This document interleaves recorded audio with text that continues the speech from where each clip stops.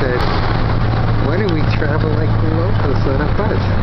So here we are between San Jose and Alajuela near the finest Costa Rican slums on a bus that I feel like I'm on a horse.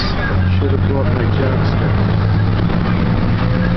Patty's turning green and I'm about